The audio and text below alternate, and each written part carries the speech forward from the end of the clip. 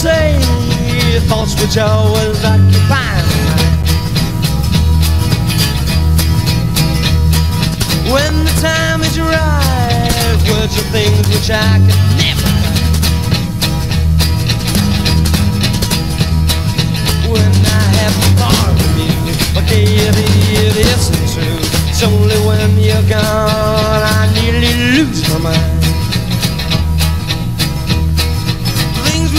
used no longer to be the same. We have both found out that all of life is, not a game.